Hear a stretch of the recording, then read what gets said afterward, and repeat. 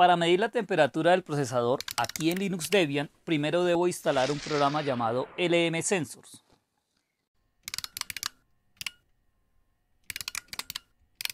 Con el comando apt-qqlist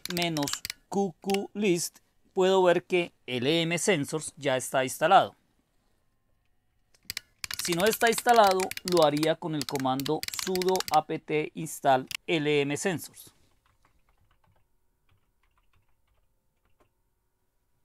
El siguiente paso es dar el comando sensors detect, que como indica su nombre, va a detectar los sensores de temperatura que están instalados en el computador. Esto es para que después se carguen los módulos en el kernel.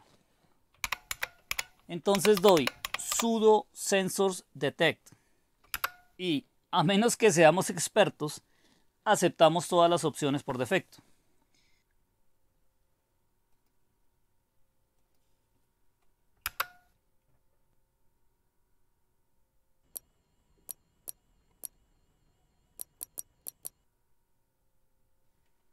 Al final el comando me da un resumen y ha encontrado el driver core temp y entonces puedo cargar este módulo en el kernel para que se ejecute desde el arranque del sistema.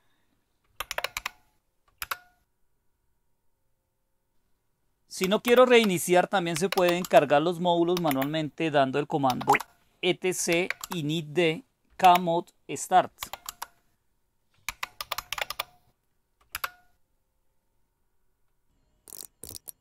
Ok, resumiendo lo que llevo hasta el momento ya instalé LM Sensors. Luego se detectaron los sensores de temperatura que hay instalados en el PC y se iniciaron los módulos del kernel para que estos sensores funcionen. Ahora sí, para saber la temperatura de mi procesador doy el comando sensors sin sudo o no se necesita sudo, pues solamente estoy monitoreando unos valores. Aparecen algunos valores en cero que deben ser valores falsos o mediciones falsas.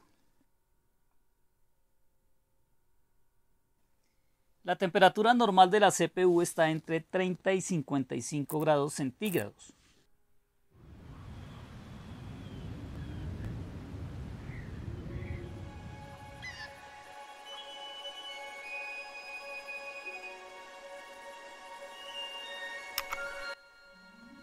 Se pueden tener valores pico o máximo entre 75 y 80 grados dependiendo del uso que le demos al equipo.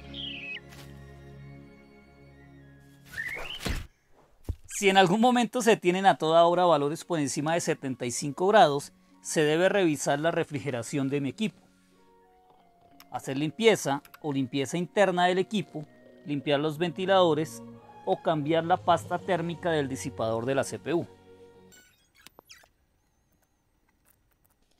También, si lo queremos ver en forma gráfica, hay un programa llamado psensor.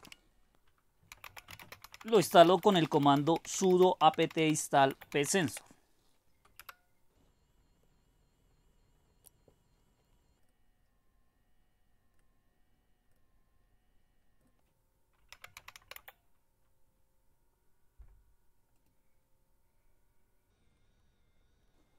Es casi la misma información que tenía por línea de comando con una interfaz gráfica sencilla.